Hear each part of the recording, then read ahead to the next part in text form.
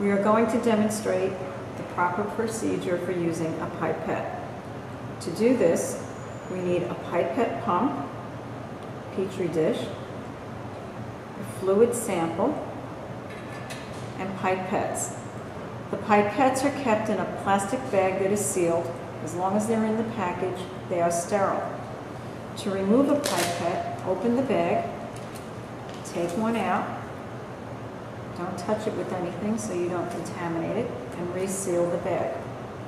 Take the pipette and snugly place it into the pipette pump.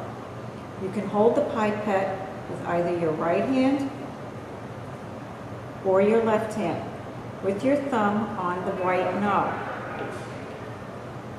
To take material into the pipette, we take our sample, we bring the pipette into the fluid, we use our thumb to draw fluid into the pipette. We release, and now we have fluid in the pipette. This pipette is filled to one milliliter. It is a one milliliter pipette. So you can see that if it's full to the upper mark, you have one mil. We can now release that by moving our thumb in the opposite direction on the knob. And our fluid is in the dish. Next, we're going to take a tenth of that and fill the pipette to a tenth of a milliliter.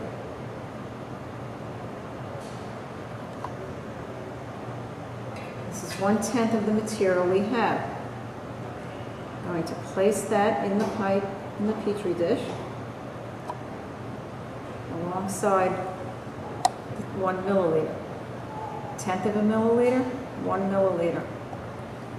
To remove the pipette, we hold it, remove it, place the pipette in the micropot, and we are done.